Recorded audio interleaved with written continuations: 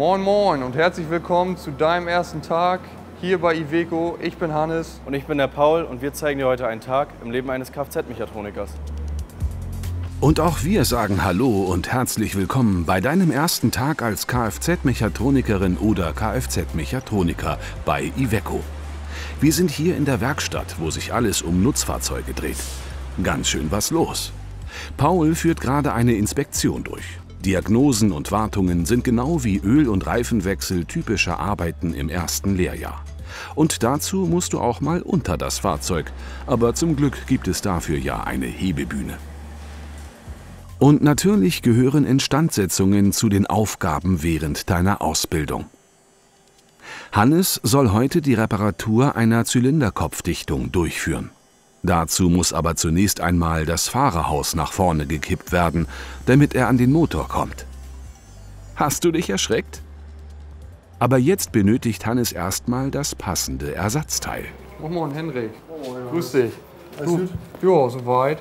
Äh, du, ich bräuchte Zylinderkopfdichtung, Cursor 9. Bei Iveco werden Teile nicht nur ausgetauscht, sondern, wenn möglich, zerlegt und instand gesetzt. Als Kfz-Mechatroniker arbeitest du dabei immer eng mit den Lagerlogistikern zusammen und sprichst dich mit ihnen ab. Da hat Hendrik die Dichtung schon gefunden. So, mein Bester, das ist das gute Stück. Perfekt, super, sieht klasse aus. Bauen wir das gleich mal ein und dann läuft er gleich wieder. So ein Lkw-Motor ist ganz schön schwer.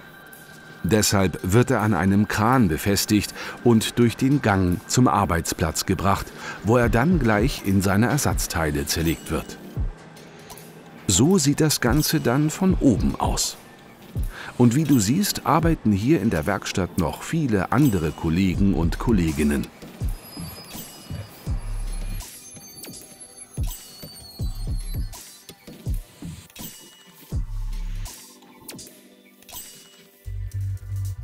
Als Kfz-Mechatroniker oder Mechatronikerin ist die Fähigkeit zum Teamwork eine besonders wichtige Komponente. Ein gewisses handwerkliches Geschick und ein technisches Verständnis solltest du mitbringen. Und mit etwas Übung und Anleitung kannst du dann wie Hannes einen Motor ganz allein demontieren, um ihn zu reparieren. Aber was auseinandergenommen wurde, muss dann natürlich auch wieder zusammengebaut werden.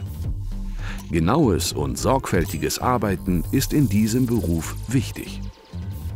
Mechanik und Elektronik sind deine Spezialgebiete. Dabei wird der elektronische Anteil immer größer und wichtiger, insbesondere im Hinblick auf die zunehmende E-Mobilität. Nun lese ich mit Hilfe des Testers den Fehlerspeicher aus, um zu gucken, welche Arbeiten am Fahrzeug zu machen sind. Und wir sehen hier, was Paul auf seinem Display mit Hilfe der Fehlerdiagnose-Software sieht. Denn oft ist nicht sofort klar, wo das Problem liegt.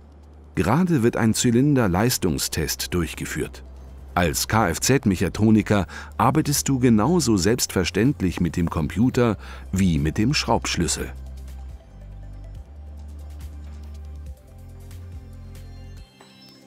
Hiermit endet dein erster Tag bei Iveco.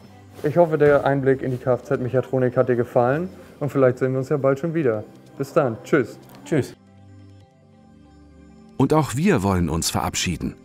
Wir hoffen, dir hat dein erster Tag als Kfz-Mechatroniker oder Kfz-Mechatronikerin gefallen. Tschüss und bis bald.